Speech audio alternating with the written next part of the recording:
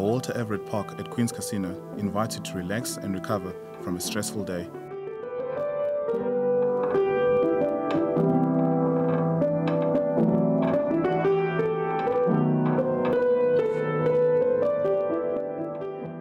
The Queen's Casino, based centrally in Queenstown, offers you a variety of entertainment and accommodation. The 1921 British steam engine used to pull the royal train when the royal family visited South Africa and Queenstown in 1947. The Wesley Methodist Church in Ebden Street, the oldest church to be built in Queenstown, was built in June 1880. The Chris Hani Craft Hub provides the craft community of the province with facilities and services dedicated to the development of skills and commercialization of craft products. A memorial in honor of the glorious men of Queenstown and district who gave their lives during the First World War.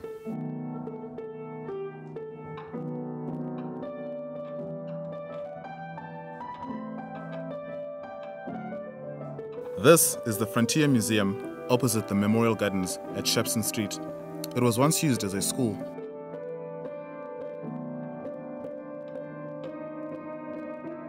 The majestic town hall, whose foundation stone was laid in 1882.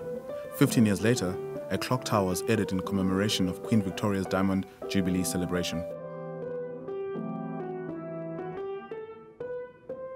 The Lawrence de Lange and Long Hill Nature Reserves are situated just north of Queenstown.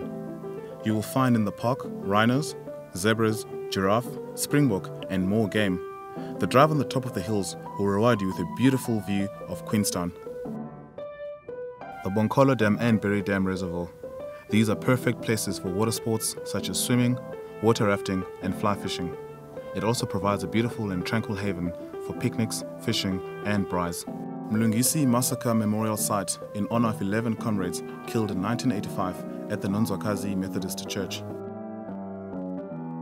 The world-renowned Shell Art Gallery of Mrs. Ruth Locke.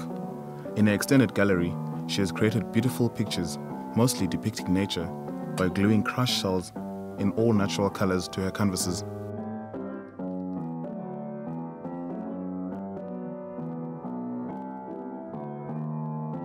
The Hexagon Square an island in the center of town, and also a National Heritage Site.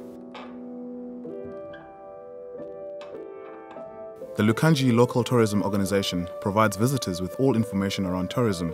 Book accommodation or entertainment packages via the office